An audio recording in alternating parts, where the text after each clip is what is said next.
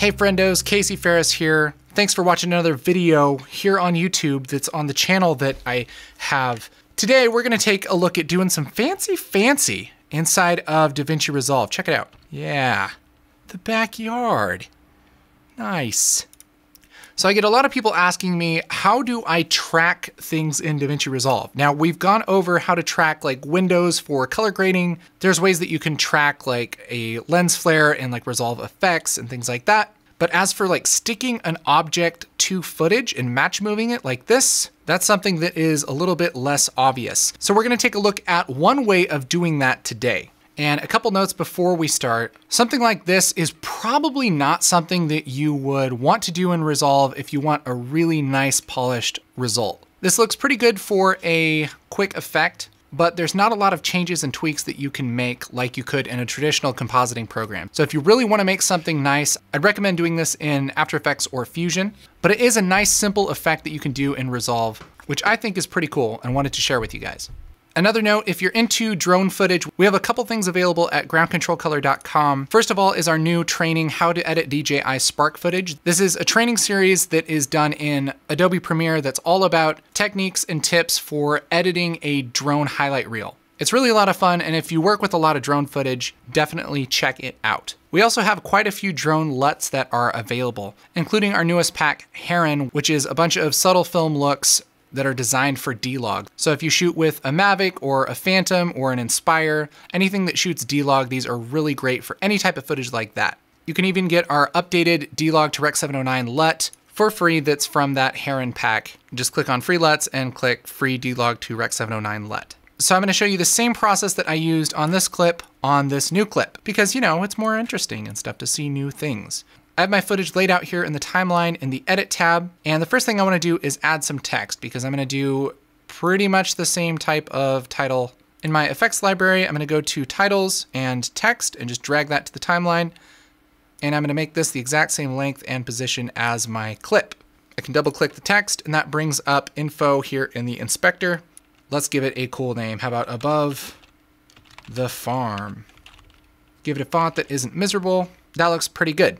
Now, a lot of the fancy schmancy happens in the color tab. And look what happens if I switch over to the color tab. Here I have my first clip and I have my overlay and then I just have my third clip, but I don't have a separate clip for the text. And the reason for that is because this is a title, and that's not something that you can color grade inside of the color tab. What you have to do is make a compound clip. So I'm gonna right click on this and say new compound clip, and that's kind of like just saving this out as a video render without actually rendering it. So as far as Resolve is concerned, this is just a video clip. Now if I switch over to color, here I have it as a separate clip. One problem is I can't see through this because it has a black background.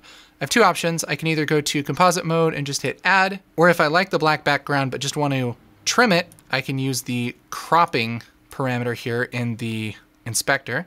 And so if I just crop this down to be kind of like a box around my text, keep it classy, you know, maybe something like that. And look, we're pretty much there, except for the whole moving with the uh, things thing. So I'm gonna switch over to my color tab, and this is where the fanciness happens. I'm gonna select the clip that is my footage, and I'm gonna go to the tracker panel, which is the fourth little tab over here. It says tracker. It usually comes up in window mode. Go to stabilizer mode, and I'm gonna go over to these dots and make sure I'm on classic stabilizer. I'm gonna leave everything how it is and hit this play sign to track it it's gonna make roughly a jillion little points and track the motion of the clip. After that, it's going to do nothing. So I'm gonna go back to my tracker panel under the dots and then hit copy track data.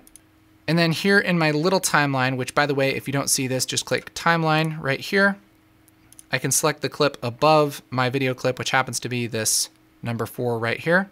Make sure I'm on classic stabilizer, hit the dots and paste track data.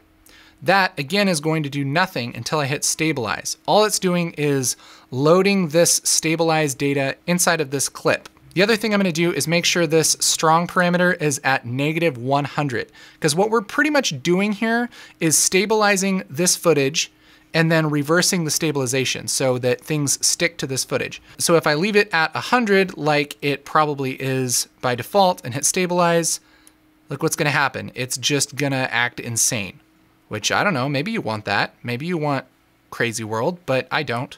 So here I'm gonna hit negative 100 and hit stabilize, and it's gonna reverse that motion and stick my title to my footage. And that's pretty much it.